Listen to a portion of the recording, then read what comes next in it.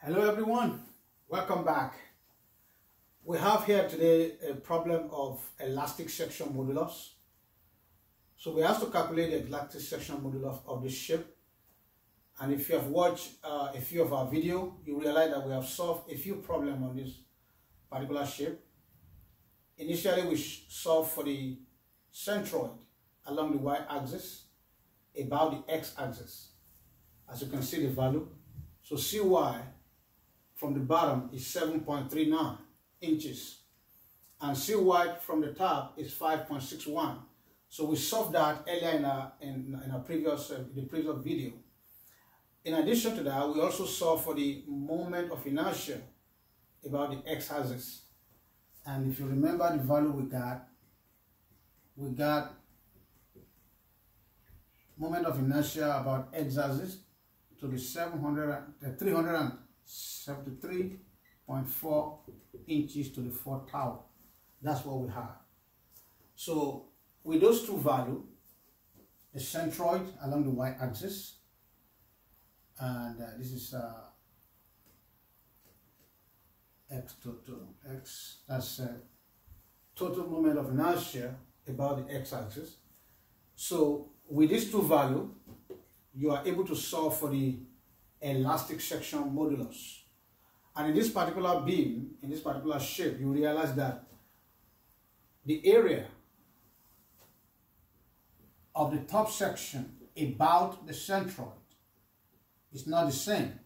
In other words, if, I, if we were to divide this beam into two areas along the centroid, this area will not be equal to this area as you can see. This is 10 inches, this is only 5 inches.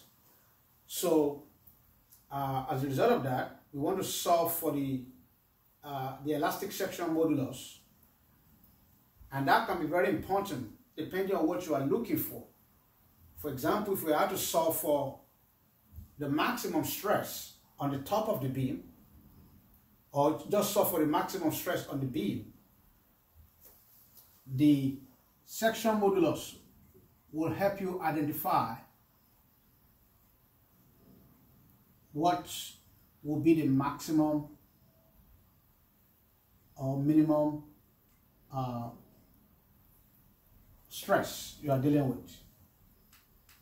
So in this case, we are going to solve for the two.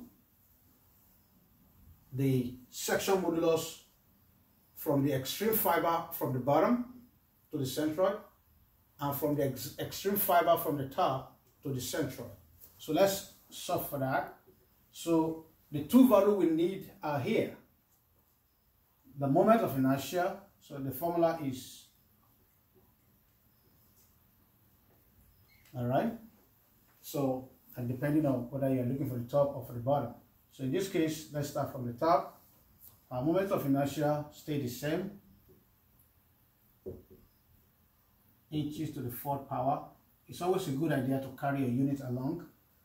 And then from the top is 5.61 inches. And you realize that this inch cancel out and another inch here you have, you are left with inches to the top, to the third power. So if you do that math, you are going to have 50.5 inches to the third. So that's your elastic section modulus from the extreme fiber on the top to the centroid. Now let's look for the same from the bottom. So that will be the same moment of inertia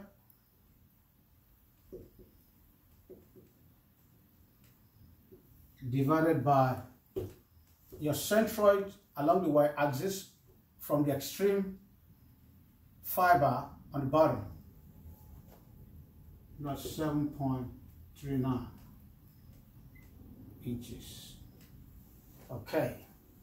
If you do this math also, you are going to have 66.5 inches to the third.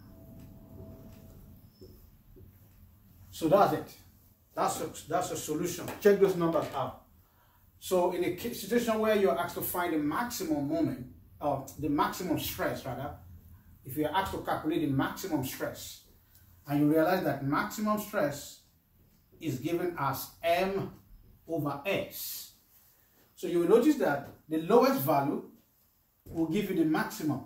So that means the maximum for this beam will be on the top because that's where you have the lowest uh, section modulus. Okay? This one will give you the maximum. This will, be, this, this will give you your maximum. All right? So, so that's the, that's the solution for uh, for this simple for this uh, composite shape. I hope uh, it helps. Let's go over it again. Free to comment. Thank you very much.